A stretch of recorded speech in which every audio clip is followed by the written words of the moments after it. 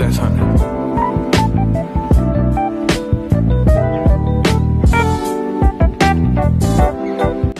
Happy Saturday, Mix Team Squad. Welcome back to the hottest celeb news in SA on period. And now taking a look into today's top stories, DJ Zinhle, Nadia Nakai, and Kairo recently shared a stage to perform AKA's song and had an emotional moment. AKA's Legacy recently showered Kairo Forbes with their love and undying support. The young lady shared a stage with her mom DJ Zinhle and Nadia Nakai to perform AKA's song at the Joburg Day Festival. Kairo's mom, DJ Zinhle, opened up about the experience on her Instagram page, saying that she wishes AKA was still alive. Zinhle penned a heartfelt message to Kairo and praised her bravery, wishing she didn't have to be so strong.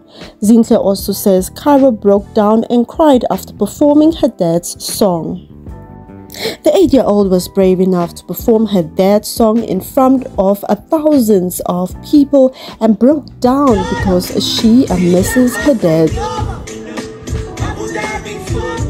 The eight-year-old's mother says she tries a lot to suppress her feelings and this is one of the few times she has seen her cry the way she did.